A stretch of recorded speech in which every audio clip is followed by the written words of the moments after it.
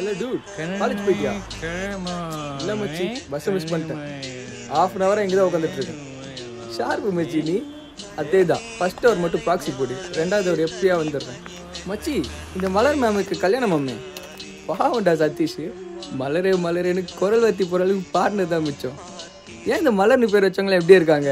நம்ம தலைவர் நிவின் பாலிக்கும் இதே தான் ஆச்சு.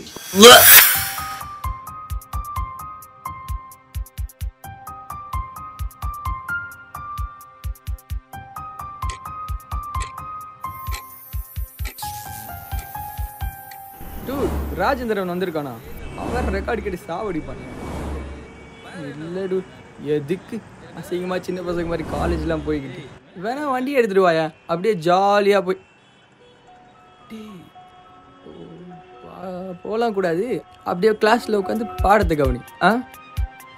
ஐ திங்க் ப்ரொஃபஸர் வந்திருப்பார் நினைக்கிறேன். வச்சுருங்களா ஆ மகிழ்ச்சி.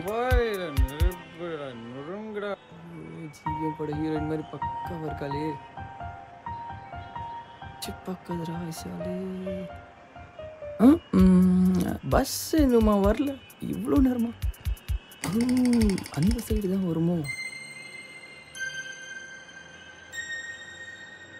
பஸ்ஸே வர மாட்டேங்குது போடா போடா புண்ணாக்கு. போடா தப்பு கணக்கு புறம்போக்கு டேய். புவர் பாய் நான் சிங்கா பாடினாலும் நமக்கு பாடுற மாதிரி இருக்கு.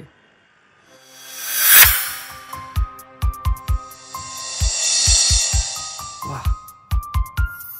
என்ன கன்னடா?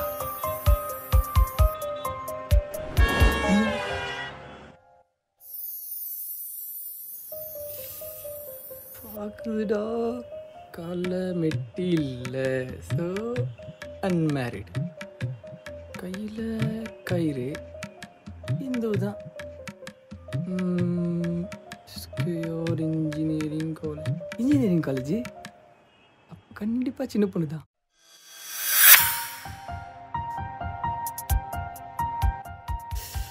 சிரிக்குதுடா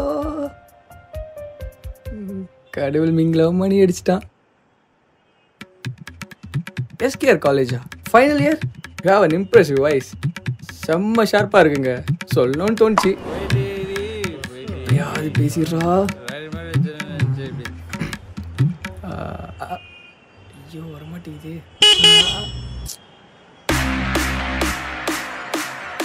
குட் மார்னிங் டேய் மனுஷன் பத்தின தெரியல உனக்கு. ஆ? உங்க அப்பா வச்சுட்டு கரடி மாம்பேட்டா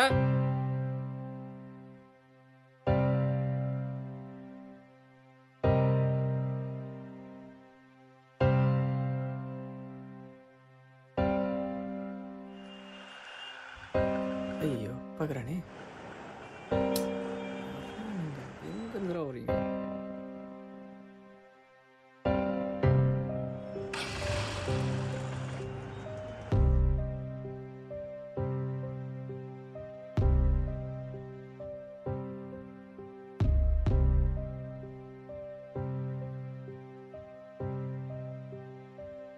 இந்த உலகத்தில் மிக சின்ன காதல் கதையெல்லாம் கண்ணிலே ஆரம்பித்து கண்ணிலே முடிஞ்சிடுது. தினசரி எல்லா பசங்க வாழ்க்கையில் நடக்கிற ஒரு இன்சிடென்ட் தாங்க இது. In fact the best moment in boys லைஃப்னு கூட சொல்லலாம்.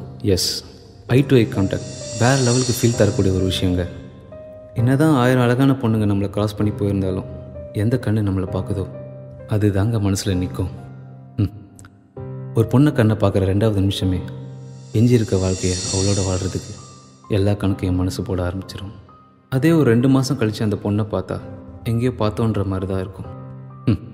ஏன்னா இந்த ரெண்டு மாதத்தில் குறைஞ்சது ஒரு இரநூறு பொண்ணையாவது நம்ம தாண்டி வந்திருப்போம்.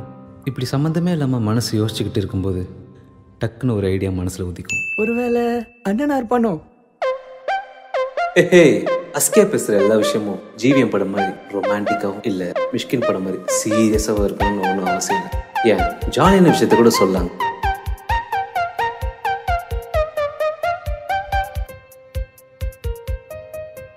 இப்படி மனம் வருதி ஃபீல் பண்ண நம்ம கதாநாயகனோட அடுத்த பத்தாவது நிமிஷத்தில் அவளே சேதட்.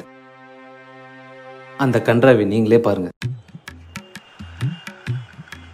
அவள் பறந்து போனாள் என்னை மறந்து போனாள் சாப்பிட்ட பிரியாணி உங்கள்கிட்ட நாய்னா அது யாராலையும் மாற்ற முடியாது. போயிட்டேரி போயிட்டேரி மச்சான் செகண்ட் ஒரு ப்ராக்ஸி போட்டுடுறா. பஸ் வருமா தெரில சொல்றி ஏன்டி போன? சொல்றி விட்டு போன? போய் அட்ட செல்ஃபி புல்ல. Hey, I don't know why all girls follow my